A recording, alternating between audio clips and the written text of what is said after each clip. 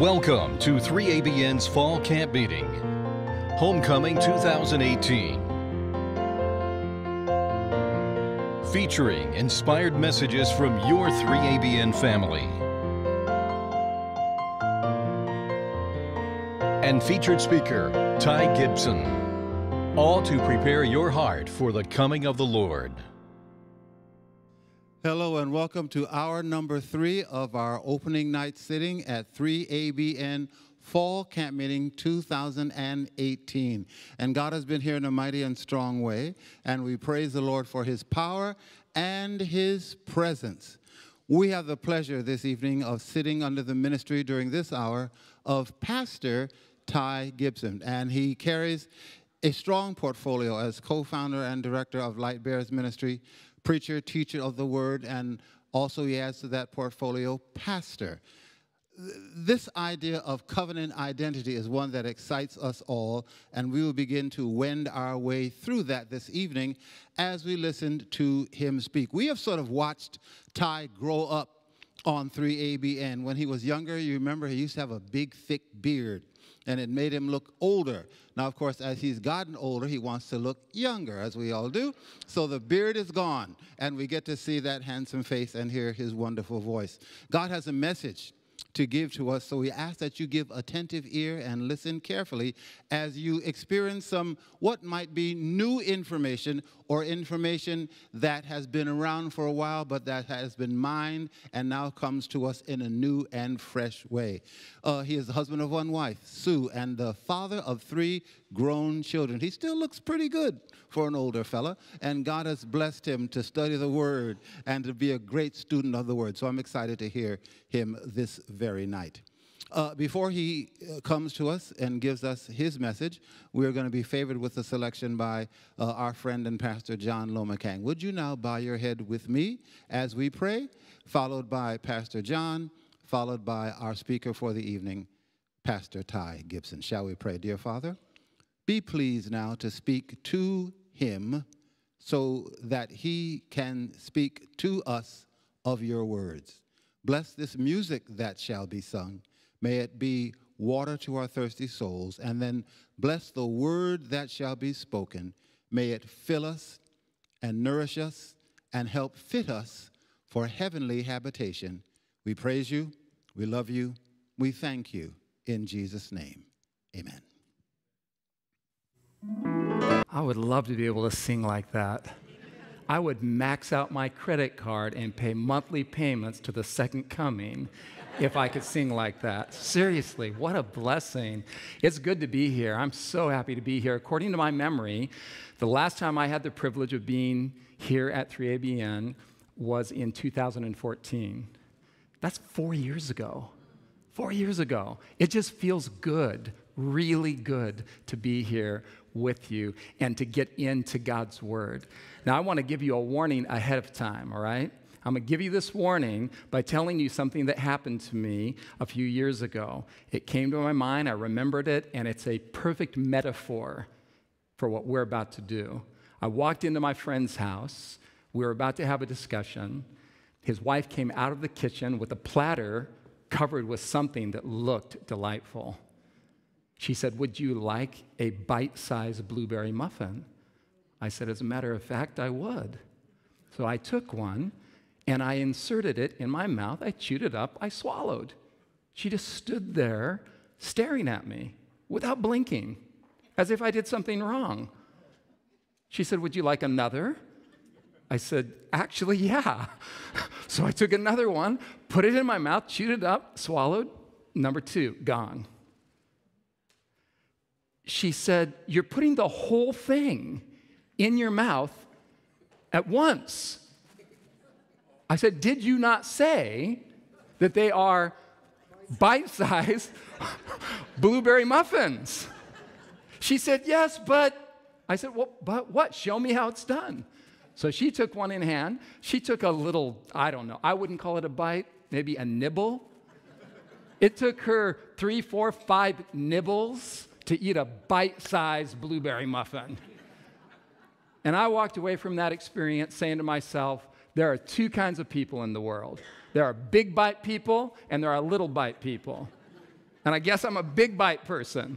And I'm going to ask you tonight to be a big bite person, Bible study wise. We're going to put the whole thing in our mouth and we're going to chew and chew. And I don't know, maybe they're, maybe they're whole wheat blueberry. The ones I had were not. They were too good. They were not whole wheat. but this is going to be this is going to be like whole food blueberry muffin Bible study. I'm going to ask you to dig into the word with me, but I'm going to ask you to take in a lot of information. Are you ready? Are you ready to do this? Are the rest of you ready to do this? Okay, so we're going to dig into the word and we're going to take this in two parts, okay? Just two parts. Because we're launching our little series right now, I say little series, my little part in this camp meeting, I've got four sessions with you. And my four sessions are going to be dealing very specifically with the concept of covenant identity.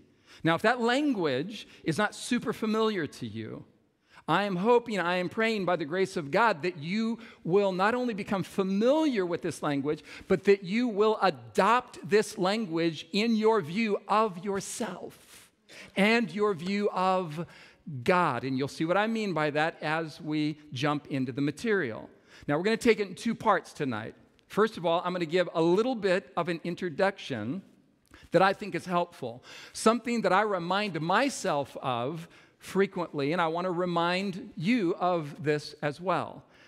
You are no doubt aware, because here you are tonight at 3ABN Homecoming Camp Meeting, you are aware that something very, very important is going down in human history right now.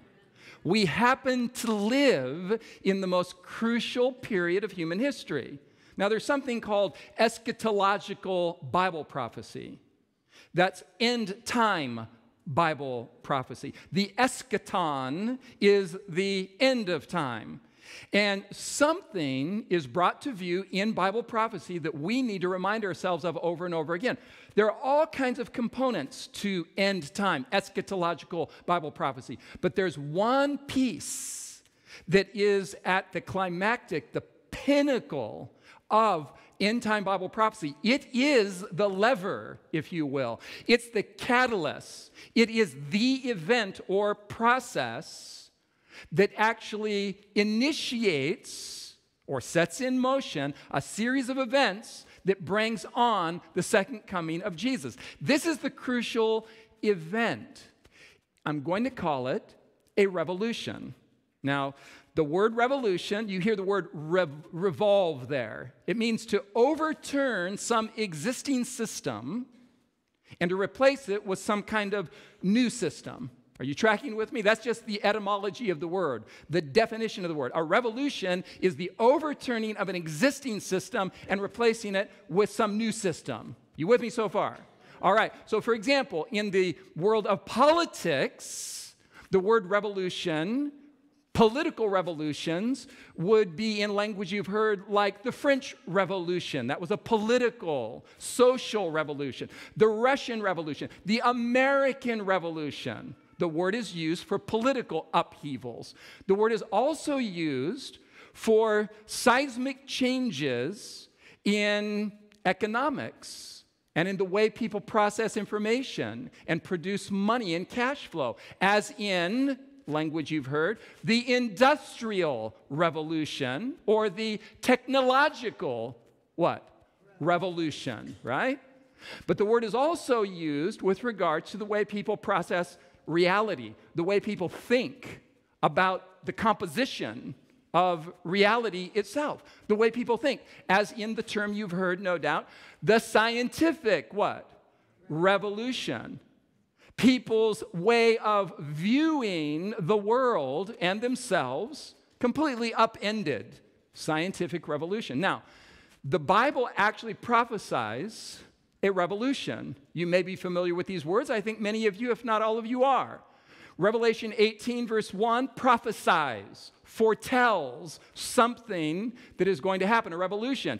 After these things, John said, I saw another angel coming down from heaven. Now, note the language.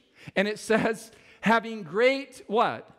authority or power in the King James Version, and the earth was illuminated with his glory. Now, watch what happens in the next verse, verse 2.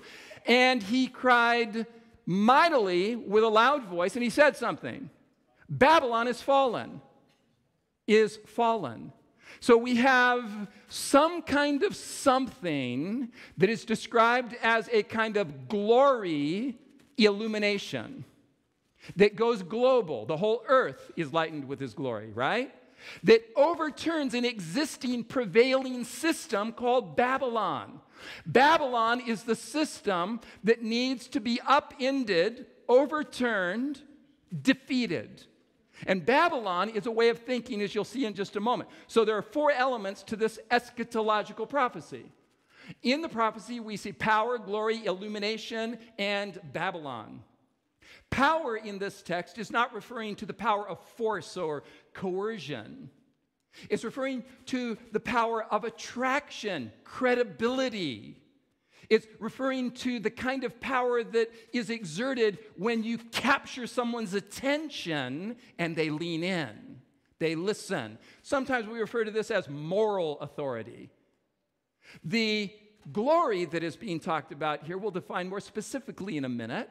The illumination is talking about not the kind of illumination you get when the sun comes up or a light is switched on, but mental and emotional illumination. In the chambers of our thinking and feeling processes, where this glory is going to illuminate. And the result of this is that this glory illumination has the effect of toppling Babylon.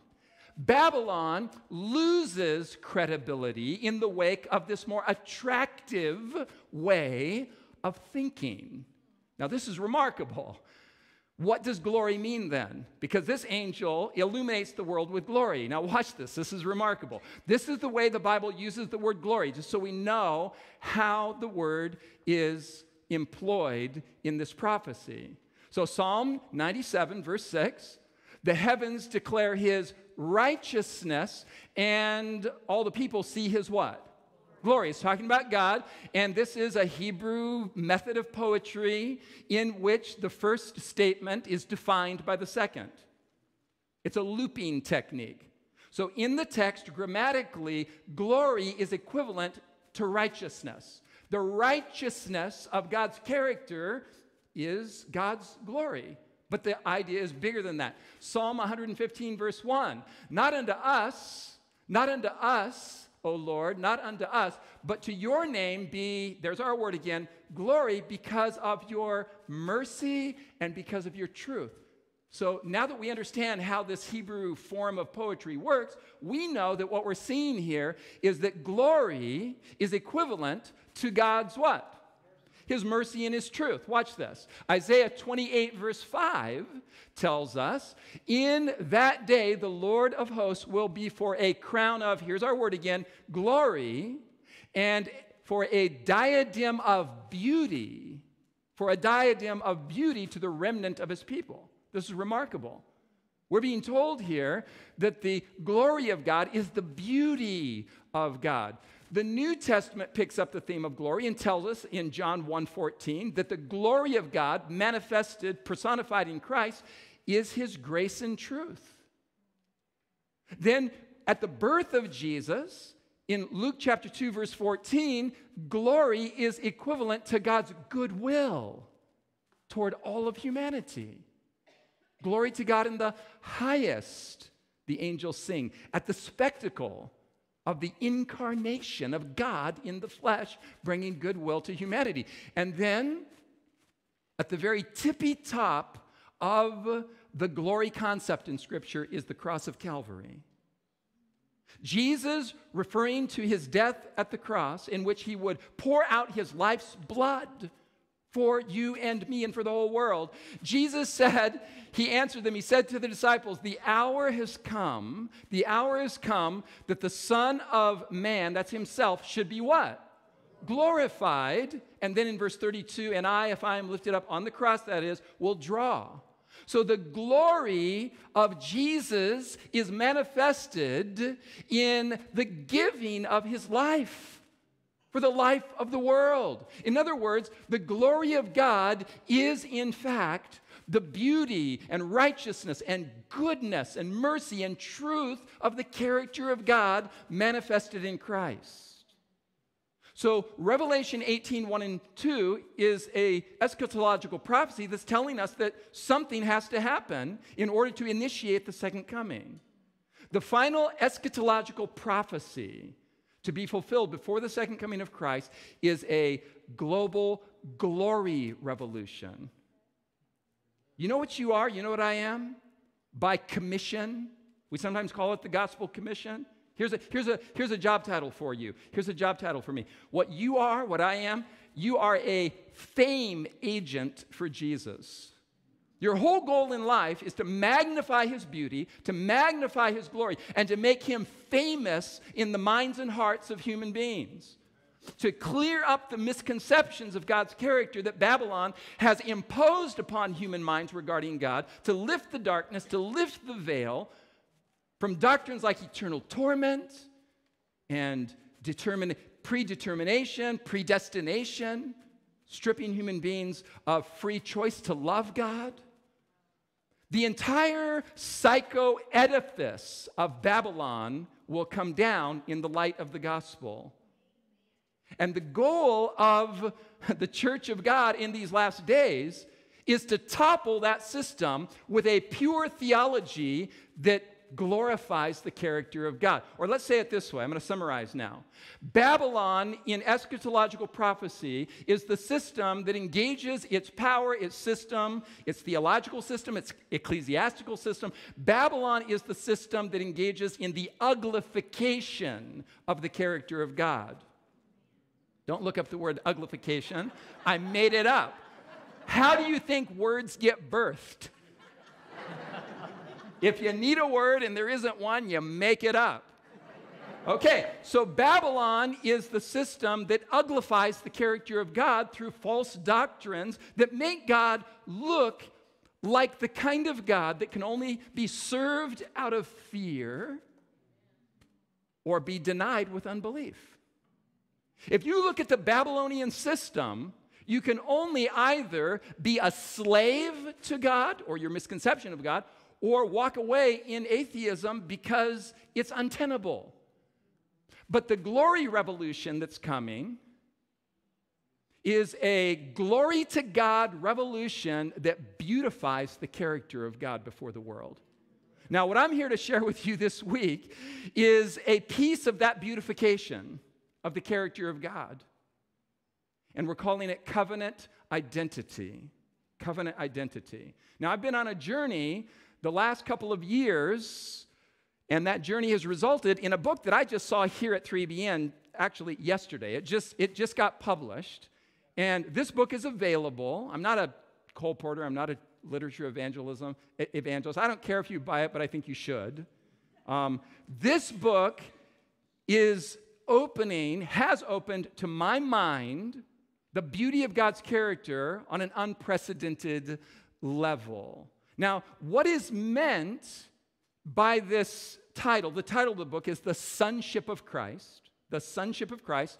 And the subtitle is Exploring the Covenant Identity of God and Man. The journey for me began with a problem. All over the world, wherever I was going, people were asking the same basic question. In fact, somebody right in a grocery store in Collegedale, Tennessee, um, stopped me in the salsa aisle and said, Hey, and this was the question have you heard of the anti Trinitarian thing that's going on, the anti Trinitarian movement? Is the Trinity a false doctrine, a pagan doctrine, or a true doctrine? Is Jesus the Son of God in some kind of eternal sense, or did Jesus begin to exist at some point in history? And this was the question. And there's a tension in Scripture. For example, for example, track with me here. Here's the problem. Let's set ourselves up with a problem to solve. On the one hand, most popular verse in Scripture, John 3:16, Jesus is called God's only begotten Son.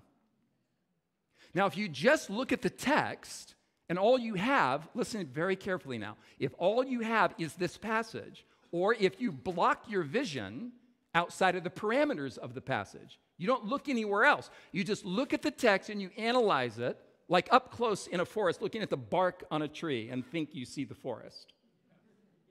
If you look at the text, you may reason, well, it says he's the son, and then God is the one who is the father, and we know that a father and a son don't coexist concurrently chronologically. A father has to precede the son. Therefore, Jesus must have come into existence at some point in some form. We don't know exactly how, but there had to be a point when he didn't exist and then he began to exist. Now, connected with this idea is the idea that if Jesus began to exist at some point in eternity past, in some form, call it birth, call it creation, call it whatever you want to call it, but he didn't exist as a second person from the Father, and then he began to exist as a freestanding person from the Father. However, you want to splice that. If that's true, we're down to the Father and the Holy Spirit. But the same movement says, well, the Holy Spirit is the Spirit of the Father, and therefore not a third person that coexists eternally with the Father and the Son. So this is, this is the reasoning if you look at the text on its own. But then you have a little bit of a problem, and here's the problem you end up with that, that is difficult to deal with. The same scripture that calls Jesus God's Son explicitly tells us that Jesus is none other than God. Not only just God in passing, as the Jehovah's Witnesses do with John chapter 1, where they translate it a God with a lowercase g, as though he weren't God inherently, but was made God, which has all kinds of implications for spiritualism. Because if any created or begotten or actualized being could be deified, then the rest of us are open to the possibility of deification. If it's possible to be brought into existence and then to be made divine, then what's to stop us in our thinking from going the direction of believing that we are capable of being deified? But that's a trail to go on the subject. All we're going to say now on the subject is Philippians chapter 2, verses 5 and 6. Let this mind be in you, which was also in Christ Jesus, who being in the form of God, the NIV says, being in very nature God, didn't consider it something to be, be held onto or grasped, or he didn't consider it to be robbery, to be equal with God. In very nature God, equal with God. Now, this is fascinating. The Bible is full of both sets of statements Son of God, God. Great is the mystery of godliness. Speaking of the incarnation, God was manifested in the flesh. Matthew chapter 1, verse 23, the angel tells Joseph and Mary, Call this child that was just born of you, call him Emmanuel, God with us. The prophecy of Isaiah chapter 9 explicitly calls the one who will be born of Mary the everlasting Father, which throws us for a loop. Everlasting God. Revelation chapter 1 calls him the Almighty. He called himself in John chapter 8 the I am that interacted with Abraham, Isaac, Jacob, Moses, and all the Old Testament patriarchs and prophets. So you have all of this language that explicitly states that he is God, very God. How is it that he could be God in any kind of eternal sense that we comprehend deity and have not existed at some point in the remote past, and then somehow been birthed, brought forth, actualized, call it whatever you want, didn't exist, then he did as a freestanding person from the Father. How do you reckon this is the problem? How do you reconcile these identities? Well, what's been helpful for me is to back up from the bark on the tree, to pan out. I've been saying to myself for 10 years now or so, when in doubt, regarding Bible study, when in doubt, pan out. If you don't know what a particular verse is saying, or you're getting befuddled by analyzing or micromanaging words in a single verse, Pan out from the single verse. Stop micromanaging words and verses. Pan out and grasp the panorama. So I'm going to suggest to you that Scripture is not a systematic theology textbook. Now, I'm not down on systematic theology, I do it myself.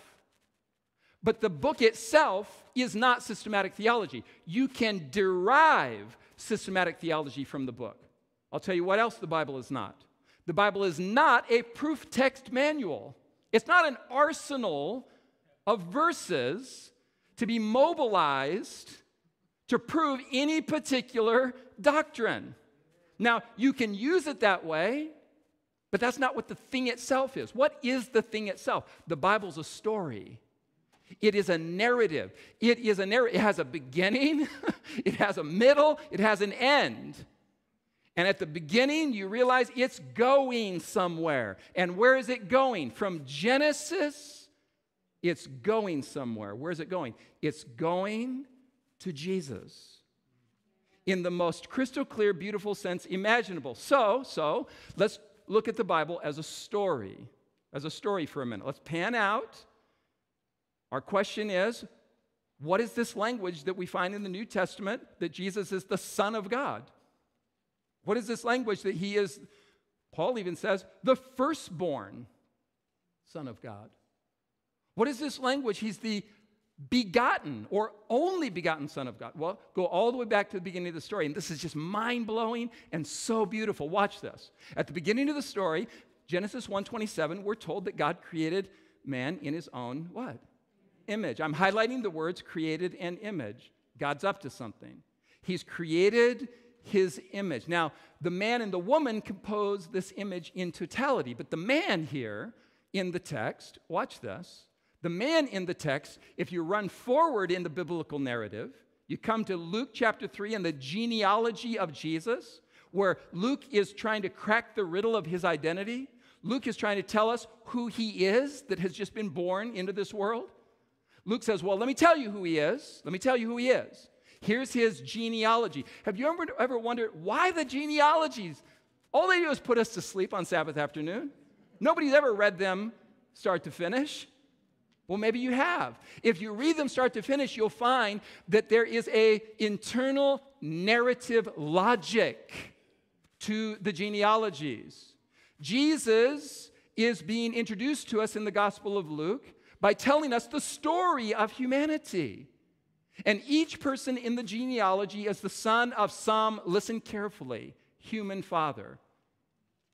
David's the son of Jesse, who's the son of Obed, and it just keeps going back and back until you get to Adam, and there's no human being before him to name. So it goes all the way back. So and so is the son of so and so, who's the son of so and so, who's the son of so and so, who's the son of Adam, who's the son of God. There's our language. There's our language. Okay, so Adam is the son of God in a unique sense, in a primary sense. All of us are sons and daughters of God by procreation. Adam and Eve by creation. Adam and Eve didn't have human parents. Are you with me so far? We don't even know if they had belly buttons because you'd have to have a mom or dad for that unless God put them there for aesthetic purposes, right? Because it would look weird if you didn't have a belly button. So you got Adam and Eve, right? You got Adam and Eve. And Adam is the Son of God. Listen, Adam is the Son of God in a unique primary sense. Now, watch this. God created man in his own image. This guy's name is Adam. That's Genesis 1. But look at Genesis 5. Here's the logic of the story from the get go. And Adam, here's our language, begot a what? Son in his own likeness after his image. So you have a pattern that is initiated at the beginning of the story. What's the pattern? Creation, procreation. God creates the first man, the first woman and then the first man, the first woman, they begin a genealogical process of procreation. Yes or no? Yes, this is the pattern of the story. This is Genesis. Now, as the story unfolds, we realize that sonship is the means by which image is transmitted. The whole point of the story, that's why when you get to the New Testament and you're reading about Jesus in the book of Romans, Paul says, by the way, he's the Son of God and the image of God from whom will come many brethren. What? Well, when you come to Romans, you realize that Jesus is the mulligan for the fall of the human race. He's the do over. Jesus is the second Adam. Jesus is initiating a new Genesis, a new beginning, because the image of God was lost, and so Adam lost the capacity for transmitting from generation to generation the image of God. So, what is the fall of mankind in this context? The fall of mankind is the loss of God's image, but more than that, it is the loss as well of the capacity to procreate God's image generation to generation. There was an interruption in the process of the transmission of God's image from father to children and onward down through the ages. So you realize that something's going on here. The story has a shape to it. Genesis 3:15 is when God comes and he says, "This is what I'm going to do in order to rectify the fall." This is what I'm going to do. And he's speaking to the serpent who tempted our first parents to sin. He's speaking to Satan in the presence of Adam and Eve and specifically wants us to understand what now has to happen. Now listen. Genesis 3:15, put it in your notes, put it in your mind. It is the first gospel promise and it is the first gospel prophecy. It is a prophecy promise, a promise prophecy. It is both messianic, it foretells the coming of the Savior as the Son of God. And it foretells, listen, the complete defeat of Satan in an eschatological finality. Now, watch this. Here's the promise. Here's the prophecy. This is the first thing out of God's mouth in describing the plan of salvation. I will put enmity, that word means hostility, between you, Satan. God is addressing Satan here. I will put enmity between you and the woman. That's Eve in the local historical primary sense. But as the story unfolds, womankind takes on eschatological significance, and Israel itself becomes a corporate woman, a corporate bride. And then the church in the New Testament becomes a corporate eschatological bride.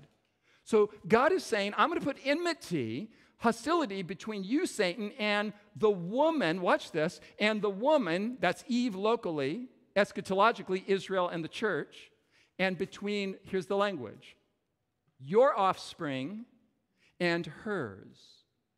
Offspring. Your offspring and hers. You've heard the term, no doubt, the spawn of Satan.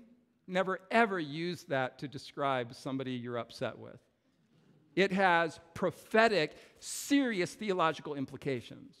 What's happening here in this passage is we're being told that two lineages will be initiated from Genesis down through the ages. Two theological lineages, two lineages that carry an opinion, a view, a perspective on the character of God.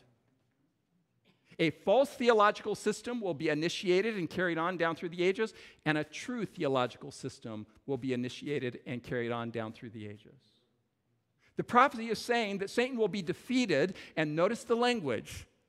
It says, This enmity between the woman and Satan, between your offspring and hers. Now, note the language. He, now it's singular. He a singular offspring, will crush your head and you will strike his heel. God is saying to the serpent, You have no idea what's coming your way. Somebody's going to be born of the woman, a singular individual. There are going to be a lot of sons and daughters, a lot of procreation. but a singular he, a singular offspring, eventually will be born.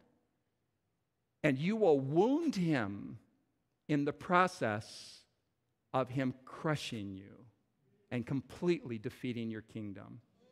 He will be wounded, you will be completely defeated. This is the mother of all prophecies. This is the initiating of both a messianic and an eschatological foretelling of what's going on, what's going to be going on, and reach its climax with that prophecy in Revelation 18 that we began with. Now, as Genesis 3:15 foretells the prophecy, the prophecy is telling us that there's going to be a offspring, right? Are you in the story now?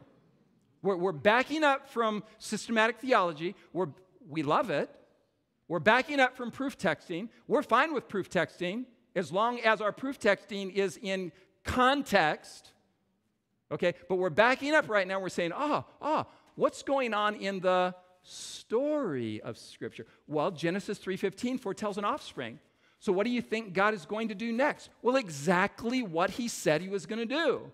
He's initiating a lineage, a genealogical lineage is going to unfold, right? So God calls a guy named Abraham, along with Sarah, out of Ur of the Chaldeans, out of Babylon, you guys, which is then reconstituted eschatologically in the books of Daniel and Revelation.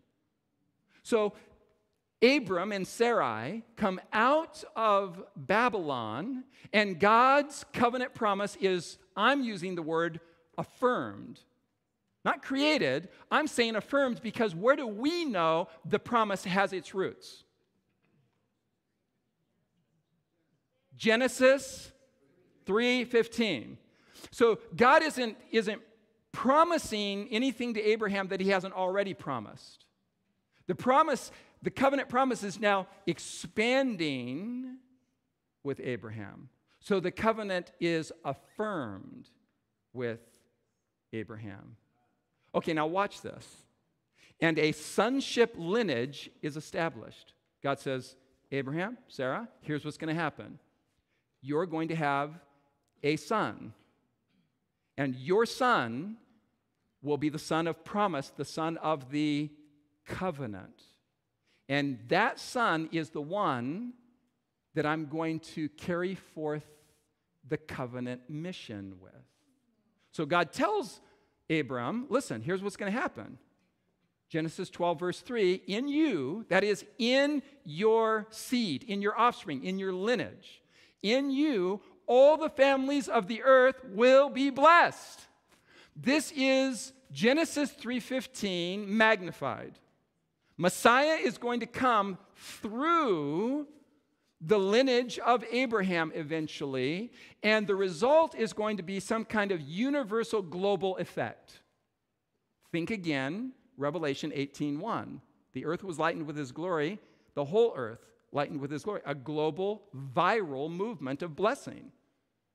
The whole earth will be blessed in the Messiah. So Abraham and Sarah say, well, that means we need to have a son. And we're getting up there in years. In fact, Sarah finds it hilarious to think that Abraham can pull this off. And so she makes a suggestion, and he buys the suggestion. I know what you're thinking right now. he pulled it off, she couldn't. If you read, anyways, it doesn't matter. The point is this they were old. That's the point. And so they do the whole thing with the handmaiden and get Ishmael. This is a fascinating twist in the narrative. Technically, Ishmael is Abraham's firstborn son. But covenantally, he's not. So God says to Ishmael, he's a fine little boy. I don't know if God said that, but that's not him. I said that the promise was going to be filled, fulfilled through you and Sarah, not you and Hagar. So Isaac comes along.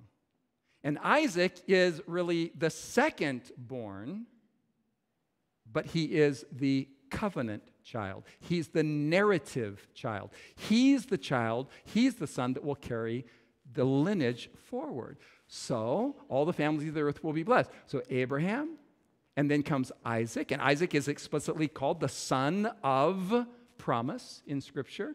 Isaac is explicitly called, by the way, the only begotten son in the book of Hebrews, the only begotten son of Abraham. Abraham, I think, had seven, eight, nine sons. Count them in Genesis. Isaac was by no means Abraham's only begotten son. But in the covenantal sense, you can say with theological accuracy that Isaac was the only begotten covenant son. He's the only begotten son of promise. And then comes Jacob. Now, Jacob was supposed to be the firstborn. I mean, his brother was actually the firstborn, technically. Jacob is the secondborn, technically, chronologically. But Jacob becomes the firstborn, the child of promise, the son of the covenant. Again, emphasizing that God isn't super concerned with chronological birth. God is concerned with character, message, purpose, plan, covenant. And that's the thing that is being woven through history. And then Jacob, watch where the story goes now. Jacob has how many sons? 12 sons. They collectively reproduce and become a nation called Israel. They take the name of Jacob, their father, after his wrestling match with the Lord, and God changed Jacob's name from Jacob to Israel, one who prevails with God. So now, watch this. Israel becomes God's corporate son. Watch the language now. When Israel is in Egyptian bondage for some 400 years, Notice that God comes to Moses in Exodus 4 22 and 23, and God uses very specific language in his address to Pharaoh through Moses. God says, Israel, he's talking through Moses to Pharaoh, Israel is my what? My son, my firstborn. Israel, the nation. The corporate body is God's firstborn son. So I say to you, let my son go. We're beginning to realize that you can't interpret the sonship language of the New Testament in a vacuum. That John 3:16 and all the other New Testament texts about Jesus being the son of God only have coherent meaning in the context of this narrative. In fact, all the language of the sonship of Christ in the New Testament is derived from Old Testament narrative, Old Testament passages. Here, Israel as a nation is called my son, my firstborn. In Deuteronomy 32, Deuteronomy, not Genesis, not Exodus, Deuteronomy is the first time in Scripture that God is called Father.